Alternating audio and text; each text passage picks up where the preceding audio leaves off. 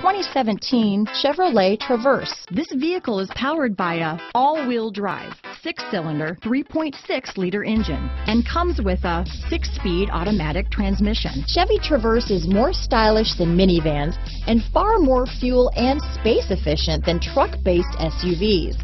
Crossovers like the Traverse are excellent family vehicles. Here are some of this vehicle's great options. All-wheel drive, daytime running lamps, body side moldings, tire pressure monitoring system. Come see the car for yourself.